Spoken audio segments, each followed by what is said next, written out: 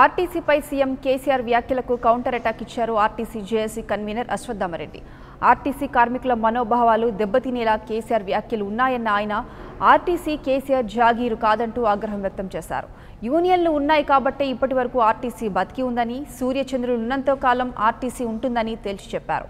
ప్రభుత్వం తమ న్యాయమైన డిమాండ్లు నెరవేర్చే వరకు సమ్మెపై వెనక్కి తగ్గేదే లేదని అశ్వత్థామరెడ్డి తెగించి చెప్పారు.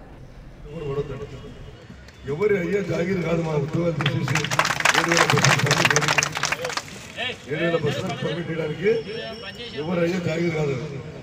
చాలా మాట్లాడతాడు. కోర్టు చాలా సీరియస్గా చెప్పింది. ఇరవై ఎనిమిది తారీఖు నాడు రేపు ఉంది ఆయన ఏం సంబంధం? ఎంతో సుఖం. సింపుల్గా చెప్తున్నాడు. అవును లేవు పైసలు లేవు. అంటే ఏం చేస్తాడు కోర్టు? అంటున్నాడు. జీతం చేసిండు అవును పైసలు లేవు. నాతో ఏం చేస్తావు? నాలుగు బస్టాలు అంటాడు. అంతే. కోర్టు ఏం చెప్తుంది? ఏం చేస్తాడు? పైసలు అంటాడు. నిన్ను నీ ప్రభుత్వం ఏమిటి జైల్లో పెడతారు కోర్టు. చెప్తుంది కార్మిక చట్టాలు ఉల్లంఘించి కార్మికుల జీవితాలతో ఆడుకునే ప్రయత్నం చేస్తే టీడీగా కొన్ని హక్కులు ఉంటాయి. నీ పుట్టకముందే పంతొమ్మిది వందల ఇరవై ఆరులో ట్రేడ్ చట్టాలు ఉంటాయి ఇలా ట్రేడ్ లేకుండా నేను చేస్తా. యూనియన్ లేని ఆర్టీసీ కావాలి. యూనియన్ లేని ఆర్టీసీ కూడా మరి ప్రాంతీయ పార్టీలు లేని దేశం కూడా ఉండాలి. దేశం కూడా ఉండాలి. పార్టీలు కూడా అవసరం లేదు కదా. పార్టీలు ప్రజల పక్షాలు ఉంటాయి యూనియన్లు కార్మికుల పక్షాలు ఉంటాయి. యూనియన్ రద్దయినప్పుడు పార్టీలు అవసరం లేదు. దేశ అధ్యక్షుల పాలనలో సైనిక పాలన జరగాలి. ఇది ప్రజాస్వామ్య దేశం లౌకిక రాజ్యం. ఎవరి మతాలన్నా కొనవచ్చు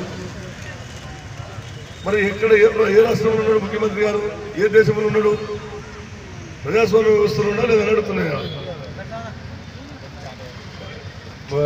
ప్రెస్ మీట్ పెట్టి ఇష్టం మాట్లాడితే పద్ధతి కాదు అది కార్మికుల మనోభావాలను దెబ్బతీసి మొన్ననే మీరు మీరు మంత్రి మీ మంత్రులు మాట్లాడిన మాటలకు ఖమ్మంలో శ్రీనివాసరెడ్డి హైదరాబాద్లో సురేంద్ర గౌడ్ లాంటి వాళ్ళు ఆత్మహత్యలకు ప్రేరేపించారు మీరు.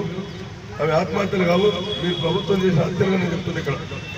ఏడు మంది కార్మికులు కూడా దాదాపు గుండెపోటుకు లోనై ఒత్తిడికి లోనై చనిపోయిన సందర్భం. దయచేసి పిచ్చి పిచ్చి మాటలు మాట్లాడకుండా సమస్యలు పరిష్కరించే దిశగా మాట్లాడాల్సిందని నేను కోరుతున్నా ఇలా ఇరవై తారీఖు కోర్టులో ఉంది. కోర్టు చాలా స్పష్టంగా చెప్పింది. కోర్టు ఆర్డర్స్ కూడా మనతో ఉన్నాయి. చూడండి. ఆరు సందర్భంలో అడుగులు జనం తిట్టిండు. ఇది రాజ్యాంగబద్ధమైన సంస్థల ఆర్టీసీ అంటే consideration close For more updates, please subscribe 99 TV Telugu.